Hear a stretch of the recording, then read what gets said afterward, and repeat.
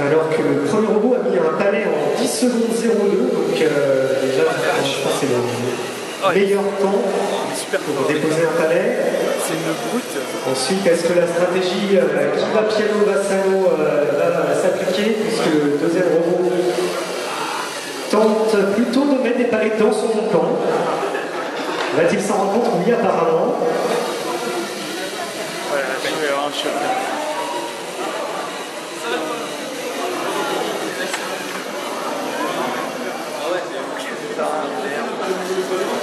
Non mais là, oui, parce qu'il a pétiné.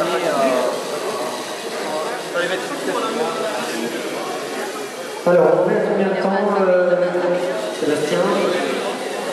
1 minute 11, donc il y a encore un peu de temps euh, pour que les, les robots puissent euh, éventuellement trouver un palais et, et marquer.